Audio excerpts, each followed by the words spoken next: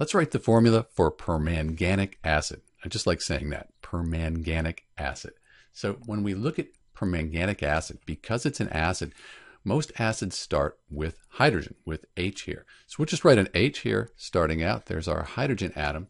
And now as we look at the name, there's no prefix. So we don't have hydro in the front here. So since we don't have hydro, it's going to be three elements and we're going to have a polyatomic ion involved. So what we do is we write the stem. This is the stem right here. And then we have the IC. So stem plus IC, we'll use these guidelines. So we write the stem, that's the permangan. And we're going to take this ic here, this ic ending, and replace it with 8. So ATE. So this, that's the ion we're going to look up. Let's do that. So we're looking down our list here, and right here, that's the permanganate ion, MnO4 minus. So we know the ion's formula now. So we just write that right here after the hydrogen.